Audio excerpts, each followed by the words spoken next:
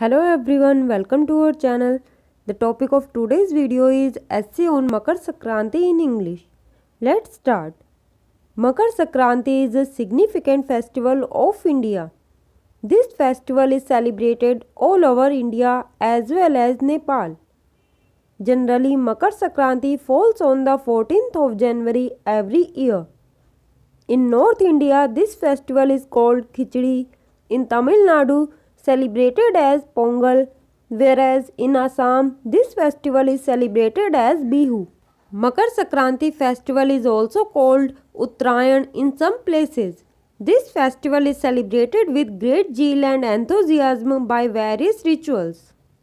Religious rituals have special significance on this day. On the occasion of Makar Sankranti, bathing in the Ganges and Dan Karma is considered very auspicious.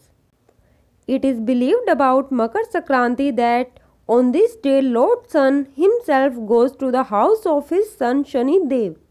Since Shani Dev is the lord of Capricorn Makar Rashi, hence this day is known as Makar Sankranti.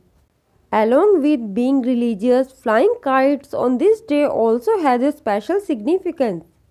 On this day, big kite flying events are also organized at many places. People fly kites with great joy, but the untimely death of birds flying in the sky is caused by the string of the manja. So, our passion should not become the enemy of the lives of poor creatures. We should keep this in mind. Also, we should take care of ourselves while flying kites on the roofs of the houses. So friends, in this way you can write this essay. Hope this will helpful for you. Thanks for watching.